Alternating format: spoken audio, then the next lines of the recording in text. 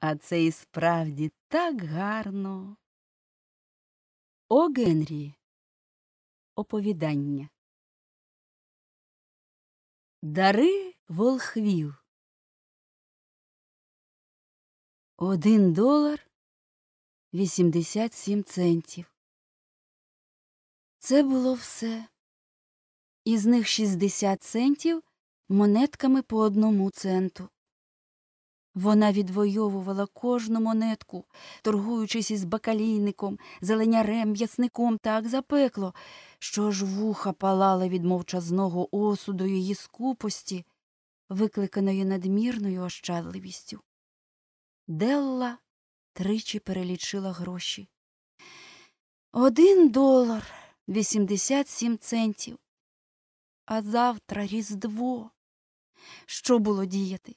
Хіба впасти на стару потерту маленьку кушетку і заплакати? Так Делла і зробила. З цього маємо дійти повчального висновку, що життя складається із сліз, зітхань, усмішок, причому зітхання переважають. Поки господиня переходить поступово від першої стадії до другої, огляньмо її господу. Мебльована квартира за 8 доларів на тиждень. Не можна сказати, що вона зовсім убога, але щось спільне з цим поняттям, безперечно, має.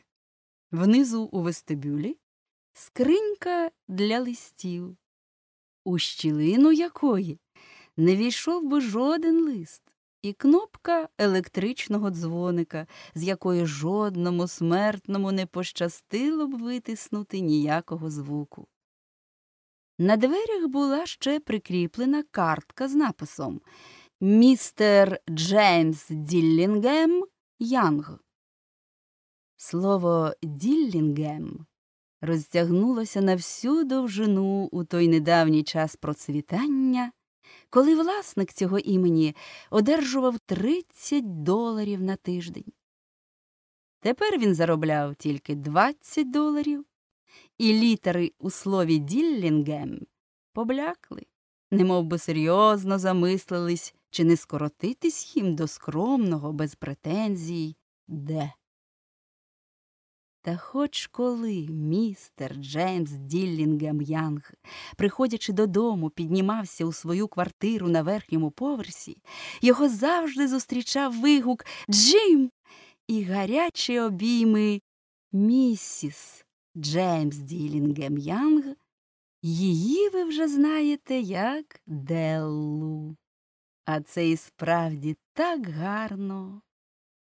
Делла перестала плакати і провела пуховкою по щоках. Вона стояла біля вікна, сумно дивлячись на сірого кота, який прогулювався по сірому паркану у сірому дворі. Завтра Різдво, а у неї тільки долар і 87 центів, щоб купити подарунок Джимові. Вона місяцями економила буквально кожен цент, і ось це все, що вдалося зібрати. За 20 доларів на тиждень далеко не заїдеш.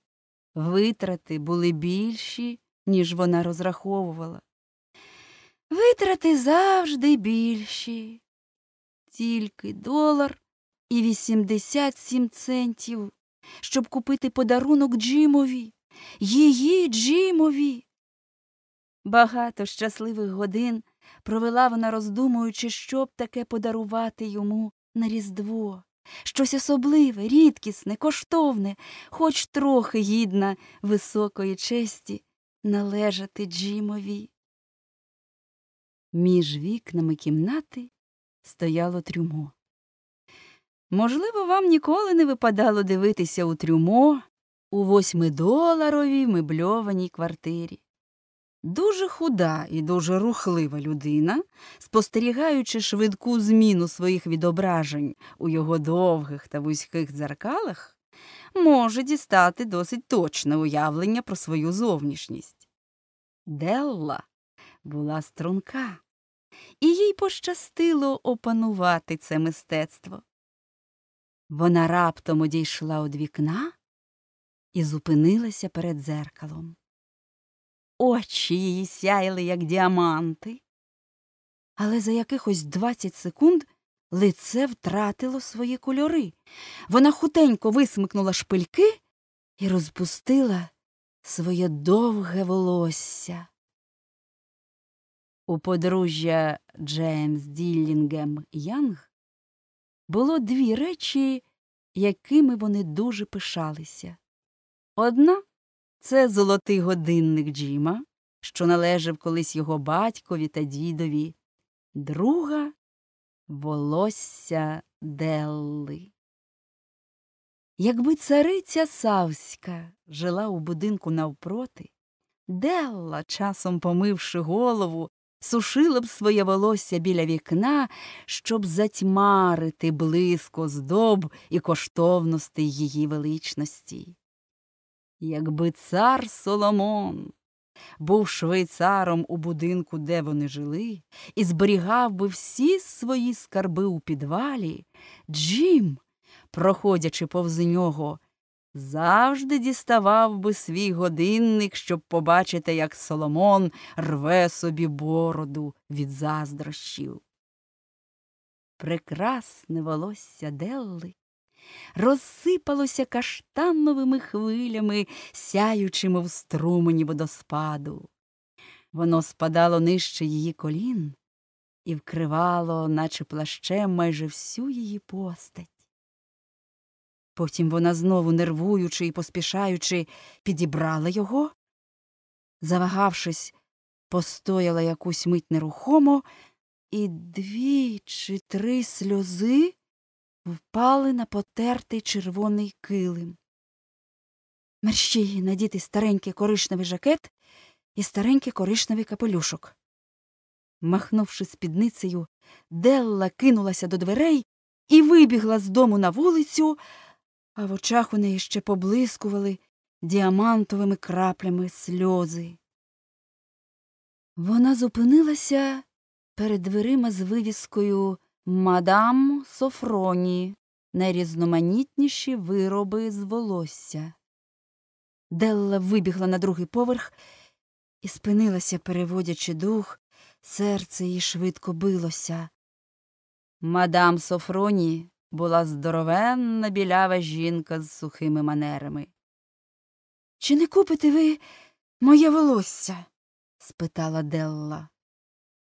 Я купую волосся, відповіла мадам. Зніміть капелюшок, треба подивитися, що за товар. І знову заструменів каштановий водоспад. Двадцять доларів, сказала мадам, звично зважуючи у руці волосся. Давайте, мерщій, промовила Делла. Дві години після цього пролетіли на рожевих крилах.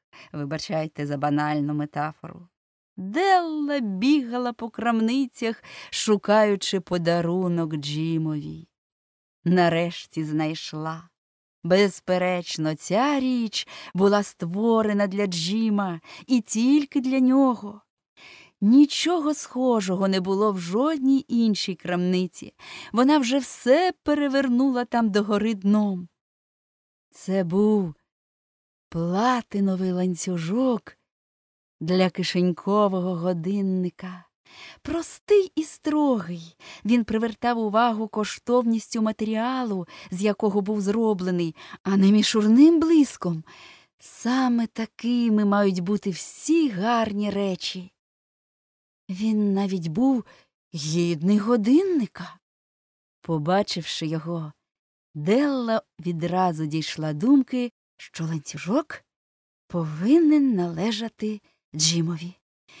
Він був такий, як Джим. Скромність і гідність. Ці якості були у них обох. За ланцюжок довелося заплатити 21 долар. У Делли лишилося ще 87 центів, і вона поспішила додому. З таким ланцюжком Джим у будь-якому товаристві зможе дістати свій годинник, глянути котра година, бо хоч який чудовий був той годинник, а Джим іноді дивився на нього крадькома, бо висів він не на ланцюжку, а на старому шкіряному ремінці. Коли Делла повернулася додому, її захоплення трохи вщухло, натомість з'явилися передбачливість та розсудливість. Вона дістала щипці для завивання, запалила газ і почала виправляти спустошення, вчинені великодушністю та любов'ю. А це завжди надзвичайно важка праця, дорогі друзі, велетенська праця. За сорок хвилин її голова вкрилася дрібними кучериками, і Делла стала дуже схожою на хлопчисько, що втік з уроків. Довгим, уважним і критичним поглядом вона глянула на себе у дзеркало. Якщо Джим не вб'є мене з першого погляду, подумала вона, то, глянувши удруге, скаже, що я схожа на хористку із коні Айленда. Але що, що могла б я зробити з одним доларом і вісімдесятьма сімома центами? О сьомій годині кава була готова, а гаряча сковорода стояла на плиті, чекаючи, коли на ній смажитимуться котлети. Джим ніколи не спізнювався. Делла затиснула у руці платиновий ланцюжок і сперлася на краєчок стола біля вхідних дверей. Невдовзі вона почула його кроки внизу на сходах і на мить зблідла. Вона мала звичку звертатися до Бога з коротенькими молитвами з приводу всяких життєвих дрібниць, і тепер швиденько зашепотіла Господи, зроби, будь ласка, так, щоб я все ще сподобалася йому. Двері відчинилися. Джим увійшов і причинив їх. Його худе обличчя було заклопотане. Бідолаха. У двадцять два роки він мав годувати сім'ю. Йому давно треба було купити нове пальто, і рукавичок у нього не було. Джим увійшов і завмер, наче сетер, що збирається кинутися на перепелицю. Його очі спинилися на Деллі. В них був вираз, якого вона не могла зрозуміти, і їй стало страшно. Це не були ні гнів, ні здивування, ні докір, ні жах, жодне з тих почуттів, яких вона могла сподіватися.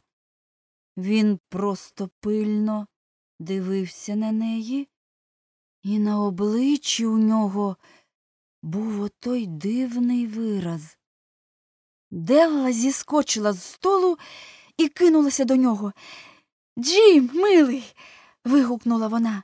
Не дивись так на мене. Я обстриглась і продала волосся, бо я б не пережила, якби нічого не змогла подарувати тобі на Різдво. Воно знову виросте. Ти ж не гніваєшся, так?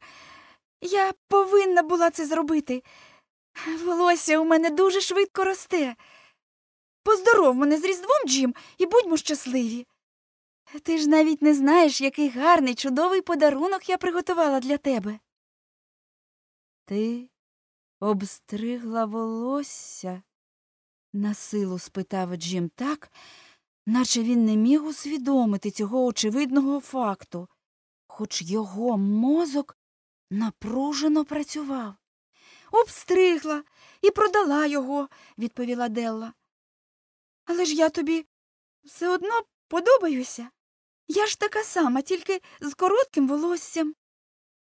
Джим здивовано оглянув кімнату. То, виходить, твого волосся вже нема? спитав він з якимсь безглуздим виразом. І не шукай його, не знайдеш, відповіла Делла. Я кажу тобі, я його продала, обстригла і продала. Сьогодні святвечір, Джим. Ну, будь зі мною ласкавий. Це ж я зробила для тебе. Можливо, волосся на моїй голові і можна було перелічити. В її голосі раптом прозвучала глибока ніжність. Але ніхто і ніколи не зможе виміряти мою любов до тебе. Смажити котлети, Джим. І Джим раптом наче прокинувся від важкого сну. Він обняв свою Деллу. Будьмо скромні, відвернімося на якихось 10 секунд і займімося чимось іншим. Подумаймо, наприклад, яка різниця між вісьмома доларами на тиждень і мільйоном на рік? І математик, і мудрець дадуть неправильні відповіді. Волхви принесли коштовні дари, але серед них не було одного. Цей туманний натяк ми роз'яснимо пізніше. Джим витяг з кишені свого пальта пакуночок і кинув його на стіл. Зрозумій мене правильно, Дел, сказав він. Ніяка стрижка, ніякі нові зачіски не примусять, щоб я розлюбив тебе, дівчинко. Але розгорни цей пакунок, і ти зрозумієш, чому я спершу трохи розгубився. Білі спритні пальчики розірвали мотузку і папір, пролунав крик захвату, а на зміну йому Ой, Леле, прийшли, як то буває, тільки у жінок, потоки сліз та зойки. Довелося негайно вдатися до всіх заспокійливих засобів, які тільки були у господаря квартири. Річ у тому, що на столі лежали гребінці, набір гребінців, бічні і задні, якими Делла давно любувалася на одній з бродвейських вітрин. Чудові гребінці, справжні черепахові, прикрашені по краях дрібними коштовними каменями, і саме того відтінку, що пасував би до її волосся. Гребінці коштували дорого, вона знала це, і її серце давно вже нило від того, що не було ніякої надії купити їх. Тепер вони належали їй. Але ж де ті коси, що їх прикрасили б ті довгожданні гребінці?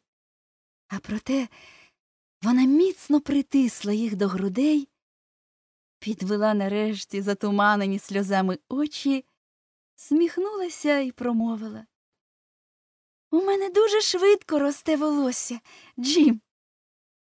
Делла підскочила, як ошпарене котеня, і вигукнула О, господи. Джим ще не бачив свого чудового подарунка. Вона худенько подала йому на долоні ланцюжок. Матовий коштовний метал, здавалося, засяяв відбитим світлом її гарячої і щирої радості. Ну, правда ж гарний, Джим? Я обнишпорила все місто, поки знайшла його. Тепер ти можеш дивитися котра година хоч сто разів на день. Дай на мені свого годинника. Я хочу побачити, який вигляд він матиме з ланцюжком.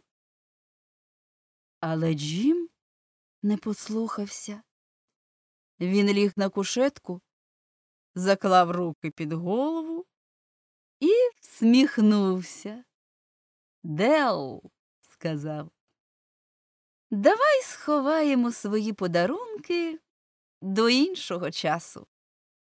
Вони занадто гарні, щоб так зразу ними користуватися. Я продав годинник, щоб купити тобі гребінці. Ну, а тепер, гадаю, пора смажити котлети. Волхви.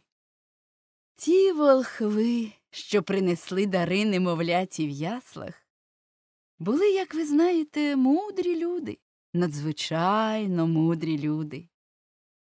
Вони винайшли звичай робити різдвяні подарунки, бо вони були мудрі, і дари їхні були мудрі. Не виключено, що їх можна було навіть замінити, якщо траплялися два однакових подарунки.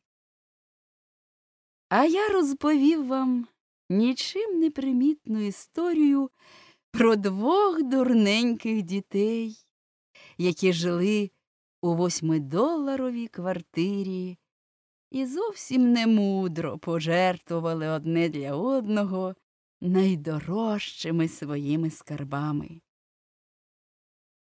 Але до відома мудреців наших днів слід сказати, що з усіх, хто робив подарунки, ці двоє були наймудріші. З усіх, хто приносить і приймає дари, наймудріші тільки такі, як вони. Це всюди так. Вони і є волхви.